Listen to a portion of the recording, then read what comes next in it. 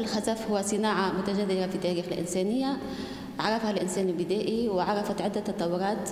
هذه التطورات متفاعلة مع التطور التكنولوجي. إذا الخزف هو حرفة وهو علم وهو فن.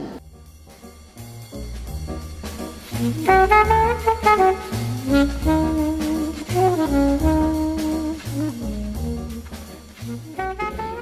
تنقسم الأهداف إلى ثلاث أقسام آه، أساسية ما يسمى بالفرنسية un savoir un savoir-faire و un savoir-être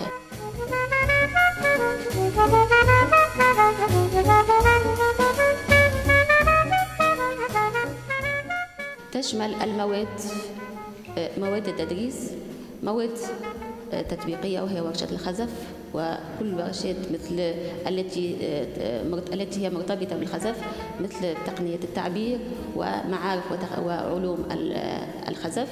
وأيضا مواد نظرية مثل الفرنسية والإنجليزية وتاريخ الفن, الفن الخزفي وقراءة الأعمال الفنية. بالنسبة للسنة الثالثة ينجز الطالب مشروع تخرج.